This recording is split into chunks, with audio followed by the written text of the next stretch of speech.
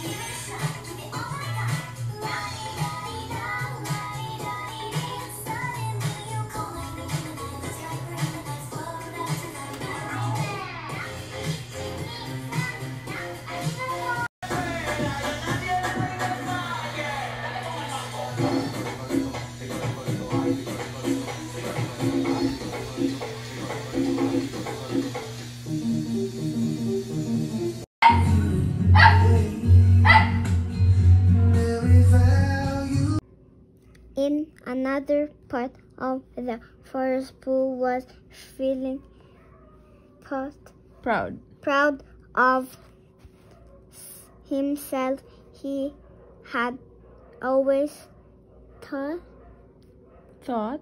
thought he was the slowest animal in the forest, but today he found an animal that was even slower.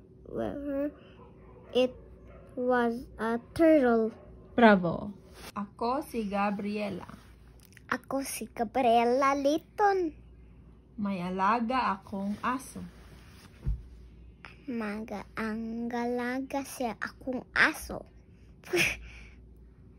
May alaga akong aso. May ga- alaga akong aso.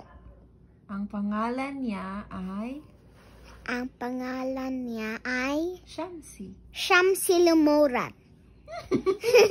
Lumuran na siya. Alright.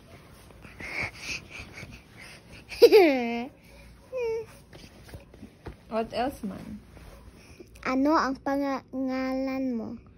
Anong pangalan mo? Ano ang pangalan mo, Day? Ay po.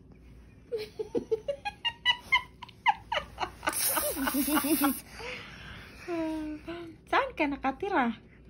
Saan tikatira? I-answer me. Saan ka nakatira? Saan katira? Do you know what I mean?